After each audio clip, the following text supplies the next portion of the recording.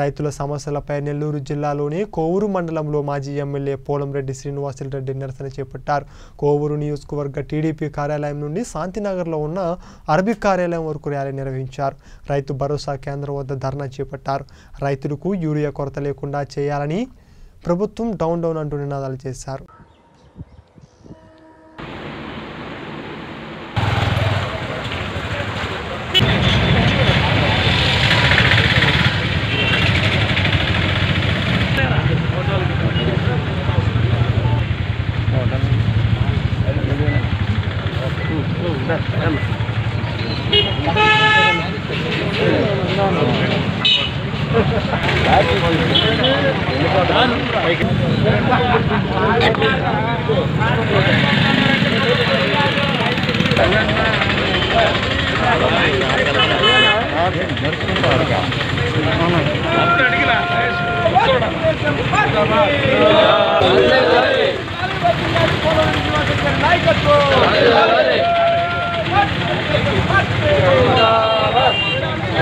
Nagar madam బండి జిందాబాద్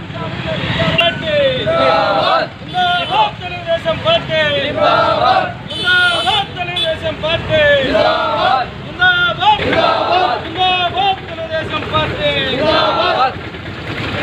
నారా చంద్రబాబు గారి నాయకత్వం జిందాబాద్ తెలుగుదేశం పార్టీ జిందాబాద్ తెలుగుదేశం పార్టీ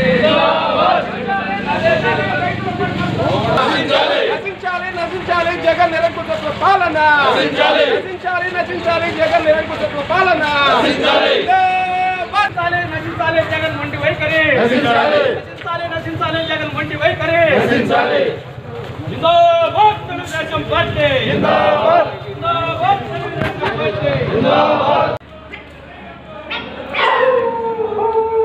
అజయ్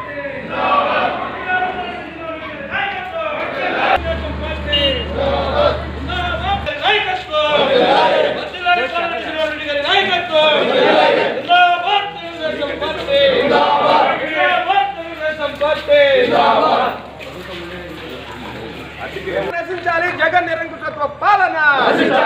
నశించాలి. నశించాలి రైతుల పట్ల ప్రభుత్వం మండి వైఖరి. నశించాలి. నశించాలి రైతు పోలవరెడ్డి శ్రీనివాసరెడ్డి గారి నాయకత్వం. పట్ల ప్రభుత్వం వైఖరి. నశించాలి నశించాలి.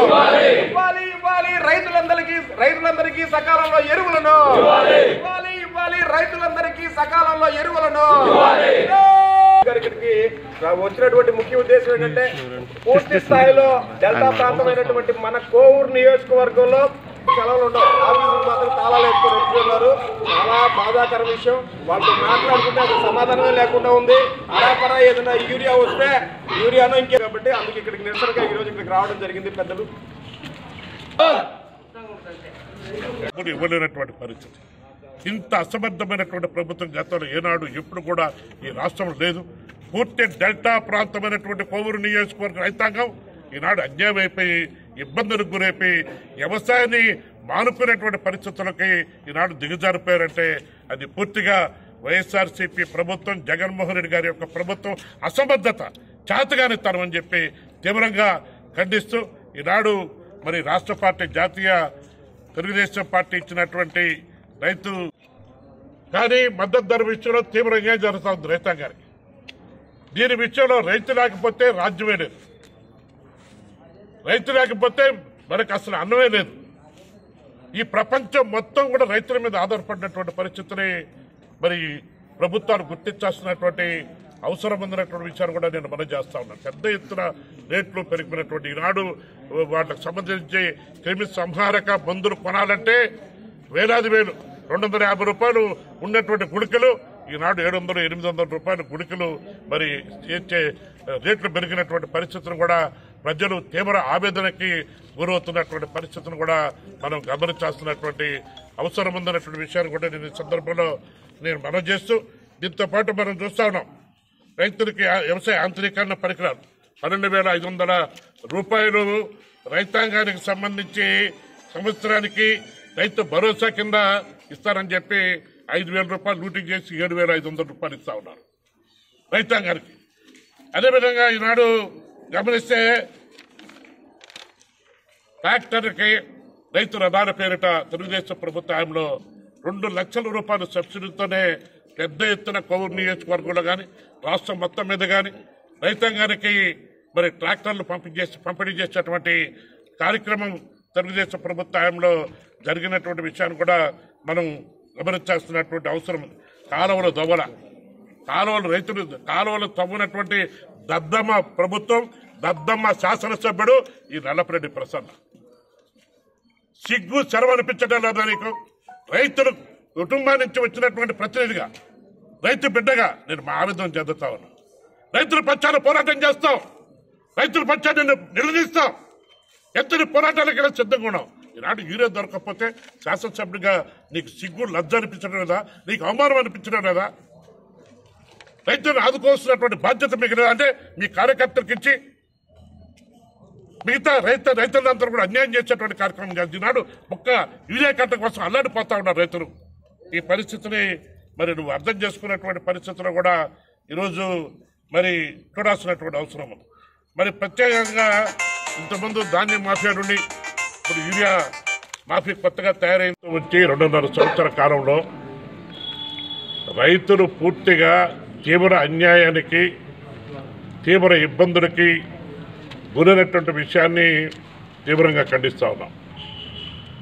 దరిదాపుగా రైతులు పెట్టుబడులు రాక వ్యవసాయ ఖర్చులు పెరిగిపోయి ఇబ్బందులు పడుతున్నటువంటి పరిస్థితి. ఈనాడు శాసనసభ్యుడు పూర్తి డెల్టా ప్రాంతం అనేటువంటి కొవ్వూరు నియోజకవర్గంలో ఎప్పుడు రైతుల అవసరాలు ఏ విధంగా ఉంటాయి? ఎప్పుడు రైతులకి డిఏబి కావాలా? ఎప్పుడు రైతులకి పొటాష్ కావాలా? ఎప్పుడు రైతులకి కాంప్లెక్స్ ఎరువులు కావాలా? ఎప్పుడు వాళ్ళకి సంబంధించినటువంటి యూరియా సప్- సప్లై చేయాలా? ఎప్పుడు రైతు భరోసా కేంద్రాల్లో అధికారులు అప్రమత్తం చేయాలా?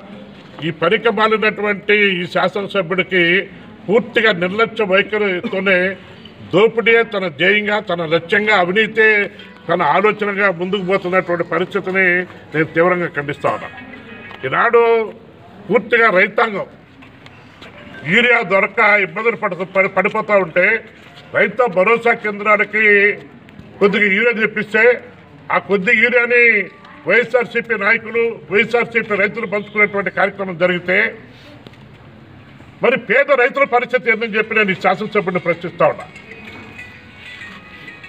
పూర్తిగా ఈనాడు రైతులను ఆదుకునేటువంటి విషయంలో ఈ ప్రభుత్వం తీవ్రమైనటువంటి వైఫల్యం చెందినటువంటి విషయాన్ని కూడా నేను ఖండిస్తా ఉన్నాను రైతుల దగా ప్రభుత్వం వైఎస్ఆర్సీపీ ప్రభుత్వం రైతులకు అన్యాయం చేసినటువంటి ప్రభుత్వం జగన్మోహన్ రెడ్డి ప్రభుత్వం అని చెప్పి ఈ సందర్భంలో నేను తెలియజేస్తా ఉన్నాను ఈనాడు చూసినట్లయితే కోవూరు నియోజకవర్గ ప్రాంతం పూర్తి డెల్టా ప్రాంతం. ఈ డెల్టా ప్రాంతంలో రెండో పంటను వేలాది ఎకరాల్లో పంట రెండో పంట వేయకుండా స్వచ్ఛందంగా రైతులు క్రాప్ హాలిడే ప్రకటించారంటే ఈ శాసనసభ్యుడికి సిగ్గు అవమానం అనిపించడం లేదని చెప్పి నేను అడుగుతా ఉన్నాను.